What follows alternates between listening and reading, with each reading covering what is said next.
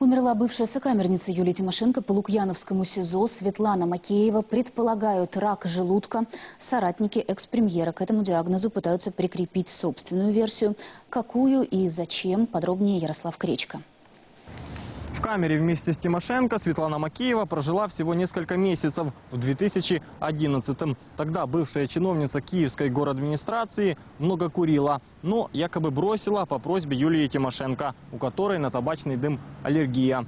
Весной прошлого года Светлану отпустили лечиться в одну из столичных клиник. Источники в Минздраве подтверждают, женщина умерла от онкозаболевания. Тем временем в партии «Батьковщина» заявляют, у Макеевой был рак желудка, причины возникновения которого неизвестны.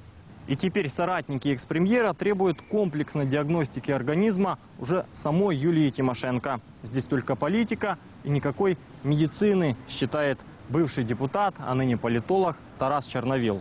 На жаль, в нас нема сьогодні сильної адекватної опозиції. Єдина тема, на якій вони сьогодні можуть серйозно грати, це тема Юлії Тимошенко. А вибачте, але це вже просто паразитування.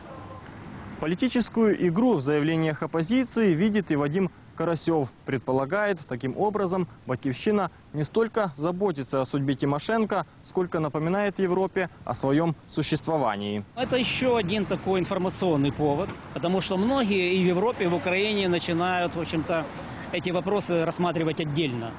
Вот чего бы не хотелось сегодня соратникам Тимошенко и самой Юлии Тимошенко. Политологи сходятся в одном. Чем ближе Вильнюсский саммит, на котором планируется подписание соглашения об ассоциации с ЕС, тем громче имя Юлии Тимошенко будет звучать из уст ее соратников по партии. Ярослав Кричко, Евгений Сакун. Подробности телеканал Интер.